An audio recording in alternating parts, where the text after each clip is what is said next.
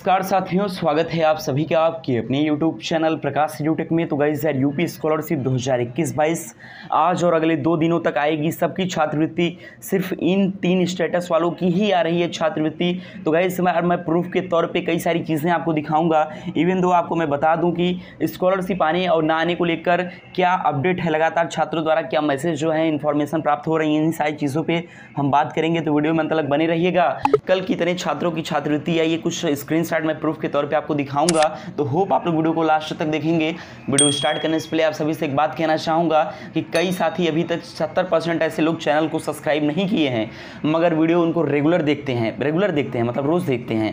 तो भाई उन्हीं लोगों से मेरा अनुरोध है सब्सक्राइब करो बेलाइकन को प्रेस करो, इतना शर्मंदगी किस बात की है? सब्सक्राइब करो बेहिचक बेधड़क अंदाज में। तो चलिएगा इस वीडियो को स्टार्ट करते हैं। सर आप लोगों का ज़्यादा वक्त नहीं लूँगा। आप यहाँ पे देख सकते हैं कि स्टूडेंट ने हमें स्क्रीनशॉट साझा किया कि उसकी उनसठ हज़ार नौ सौ बीस रुपये जो है वो बारह चार दो हज़ार बाईस की डेट में करीब चार बज के तीस मिनट पे देखिए ट्रांसफ़र हुआ है। और टोटल आपको बता दूँ कि ये इनका कहना है स्कॉलरशिप का पैसा है। देखिए, ये बीटेक के छात्र हैं और बीटेक के जे एस कैटेगरी के छात्र हैं। उनकी स्कॉलरशिप इतनी रुपीज़ जो है वो उनको प्राप्त हो रही है। तो लाइव प्रूफ आप लोग सारा कुछ स्क्रीन पर आप देख सकते हैं। सब कुछ आपके सामने है, बिल्कुल आपके सामने है। चलिए, अब यहाँ से हम आपको बताते हैं अलग अलग स्टूडेंट्स के द्वारा और भी मैसेज आए हैं। अक्षय चौरसिया का कहना है कि सर, आज मेरा आई का स्कॉलरशिप आ गया, बारह हज़ार सात सौ साठ रुपया आधार बेस्ड पेमेंट के हिसाब से, यानी कि एपीबीएस प्रणाली के थ्रू तो गाइज़ अच्छी बात है, देखिए कुछ छात्रों को छात्रवृत्ति रिसीव हो रहा है। हाँ ये नहीं कह सकते कि हज़ारों की संख्या में छात्रवृत्ति आ रही है, लेकिन गिने चुने जितने लोगों की आ रही है, मगर हाँ इस बात का आपको यकीन करना होगा कि सच में छात्रवृत्ति आ रही है, क्योंकि ये प्रूफ जो है वो कहाँ से मिल रहे हैं, ये बात आप लोग खुद ही समझ सकते हो, जनरेट करना पॉसिबल नहीं है। हर्ष राय का कहना है कि भाई, एक बात बोलना चाहता हूँ कि हम सभी लोग, जिसकी जिसकी स्कॉलरशिप नहीं आई है, वो सभी लोग सोलह तारीख को अपनी अपनी डिस्ट्रिक्ट में एक साथ जाके विकास भवन में स्ट्राइक करें। एक दिन में जब पूरे डिस्ट्रिक्ट में हर जगह स्ट्राइक होगी तो इससे बहुत ज़्यादा प्रभाव पड़ेगा। और इन्होंने रिक्वेस्ट किया है कि वीडियो के माध्यम से ये सारी चीज़ें बताऊँ। तो गाइज़ अगर आप मेरे रेगुलर व्यूअर होंगे तो आपको मालूम होगा कि बीते हुए कल के मॉर्निंग वीडियो में मैंने इस बात पर डिस्कशन किया था, इस बात पर चर्चा किया था कि गाइज़ पंद्रह अप्रैल अगर गवर्नमेंट कहती है तो हम लोग इंतज़ार कर लेते हैं। उसके बाद सोलह को लखनऊ में भी धरना होगा और इसके अलावा यूपी के जितने भी डी डब्ल्यू ऑफ़िस हैं वहाँ पे अलग अलग 20, 25, 50 स्टूडेंट्स को इकट्ठा होना है। सब स्टूडेंट्स को जितना ज़्यादा पॉसिबल हो सके और सभी को एक साथ प्रोटेस्ट करना है आवाज़ उठानी है। अगर हर एक डिस्ट्रिक्ट के डीडब्ल्यू अधिकारियों का जो भी कार्यालय है वो घेरा गया उस पर धरना किया गया। उस पर प्रोटेस्ट किया गया तो यकीन मानिए, हर एक न्यूज़पेपर इस आर्टिकल को फ्री में कवर किए, करेगा और ये मामला लखनऊ तो छोड़िए, दिल्ली तक पहुँचेगा। तो स्कॉलरशिप के लिए सभी को ये मालूम होना चाहिए कि यूपी में छात्रों के साथ गलत किया जा रहा है। इस बात का हर किसी को आभास होना चाहिए। इसके लिए आप लोगों का मुझे साथ चाहिए, बाकी का कुछ नहीं। अगर आप लोग सपोर्ट कर देते हैं तो यकीन मानिएगा इस हम लोग आग लगा देंगे। आवाज़ जो है, वो ज़रूर सीएम साहब तक पहुँचेगी। बाद में वो उसे निगलेक्ट कर दें, बहरे बन के वो बात अलग होगी। मगर अभी आपको बता दूँ कि अगर आवाज़ आप लोग उठाना चाहते हैं, आप लोग छात्रवृत्ति पाना चाहते हैं तो सबसे पहला काम जो है वो वीडियो को शेयर करना है। सारे ग्रुप में सारे स्टोरी स्टेटस जो कुछ भी है, लगा दो। दूसरी बात दूसरी बात यह है कि मैं सभी यूट्यूब के साथियों से इस बात का रिक्वेस्ट करता हूँ कि भाई, वैसे भी हर एक काम जो मैं करता हूँ, करते हो, इसको भी करना है। सभी को सोलह तारीख को अपने ऑडियंस को आगाज़ करना है कि वो सभी जो डी के कार्यालय है, वहाँ पे प्रोटेस्ट करें और लखनऊ में भी प्रोटेस्ट करें डायरेक्टली समझ गए?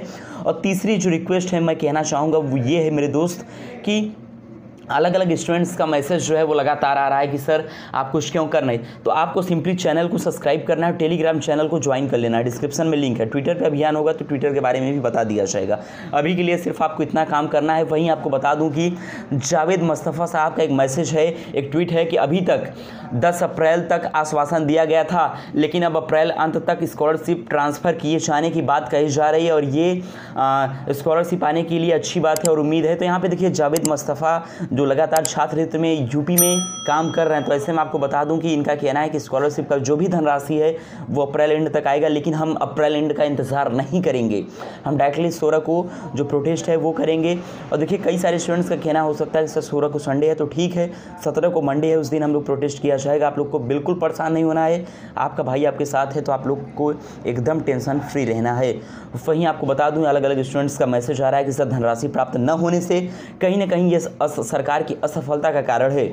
जिस उत्तर प्रदेश के युवाओं को प्रदेश में रहने को कहा जा रहा है, वहाँ की शिक्षा दीक्षा को ग्रहण करने को कहा जा रहा है। अगर वहीं छात्रवृत्ति नहीं मिली तो खाक वो पढ़ाई को कंटिन्यू कर पाएँगे। ये सवाल मैं आप सभी से पूछता हूँ।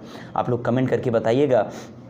और यहाँ पे आप देख सकते हैं कि अलग अलग स्टूडेंट्स का जो मैसेज है, वो आ रहा है ताबड़तोड़। पर स्टेटस अपडेट हुआ, नहीं हुआ तो आपको सिंपली क्रोम पे बेस्ट रोज़गार जो है वो सर्च कर देना है। कई बार बता चुका हूँ, फिर बता रहा हूँ, क्योंकि गाइज़ यहीं से आपको सारी चीज़ें without bug without any issue जो है वो मिल जाएँगे। तो सिंपली यहाँ पे आप जैसे ही क्लिक करते हो स्क्रॉल डाउन करके नीचे चले आना है। यहाँ से आप पिफमेस के थ्रू अपना पैसा भी चेक कर सकते हो स्कॉलरशिप पर स्टेटस भी चेकआउट कर सकते हो। स्टेटस कैसे चेक करना है प्रीवियस वीडियो में ऑलरेडी बता रखा तो यहाँ पे आपको simply bank name account number डाल के चेकआउट कर लेना अगर पिफमेस पैसा शो हो रहा होगा तो आपको यहाँ से सारा कुछ जो है उसको जान लेना है। तो गई सर सारा कुछ, जो कुछ भी था, उसको मैंने वीडियो के माध्यम से आपको इन्फॉर्म कर दिया है। बाकी अभी आपकी मर्ज़ी है या स्कॉलरशिप आपको लेनी है तो एक्टिव भी तो आपको रहना होगा। मैं बहुत कर सकता हूँ आपका हितैषी शुभचिंतक होने के नाते आपके लिए आवाज़ उठा सकता हूँ, प्रयास कर सकता हूँ ऑडियंस को इकट्ठा कर सकता हूँ। बाकी का मैं क्या कर सकता हूँ, आप खुद ही बताओ। इतना प्रयास कर रहा हूँ यूट्यूब पे, कोई अगर होगा, एकमात्र मैं कोशिश कर रहा हूँ। अभी सब कोई कोशिश करेगा, मैं जानता हूँ, लेकिन ठीक है फिर भी। ओवरऑल आप लोग नहीं अगर सब्सक्राइब करते तो कोई बात नहीं, लेकिन अच्छा नहीं लगता। इतनी मेहनत करने के बाद अगर आपकी तरफ़ से कोई रिस्पॉन्स नहीं मिलता ना तो काम करने का मन नहीं करता। थैंक्स फॉर वॉचिंग जय